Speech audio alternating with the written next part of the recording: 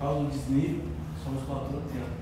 Se coloca isso aqui com a criança, ela vai ficar tocando, vai ficar tocando muscular. Tá? Isso é a noção da F4. Vai para frente. Isso é um equilíbrio no rosto.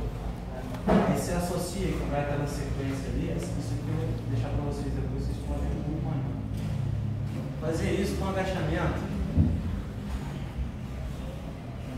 É o que a gente chama de apoio unipodal.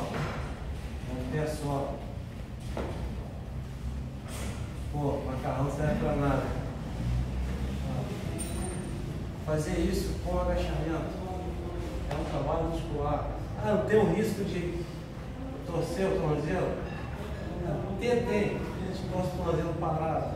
Mas a gente está aqui, é consciente, colocou o pezinho, ó. O outro vai tirando. Vai buscando. Então são soluções simples que dá para encaixar. Aí, para que, que isso serve? Um trabalho de equilíbrio. Tentando buscar equilíbrio a musculatura. E para que, isso serve na frente?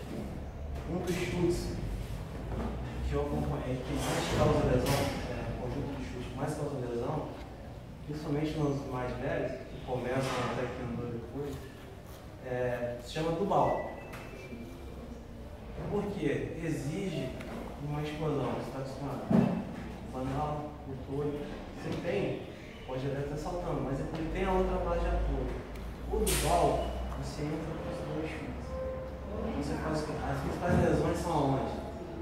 A gente gosta do estrito, então, aí se sente bem na lombar. Esse movimento, por quê? A musculatura vai usar. Você faz estímulo. Se você quer colocar o movimento, você lesiona. Então, esse, essa, esse exercício eles fazem o quê? Prepara para esse tipo de atividade. Ah, eu não vou ter essa lesão? Vai. A probabilidade é menor. Então, agachamento unipodal, você consegue prancha frontal e prancha lateral. Prancha são exercícios de abdominal. Ah, mas pô, vou fazer um chute para é o abdominal. E levanta aqui. É. Abdominal. Há um outro músculo que né, detalhe agora, mas o abdômen é principal. Para manter essa postura aqui, é muito Então eu tenho que estar fazendo esse tipo de trabalho dentro da própria flexão.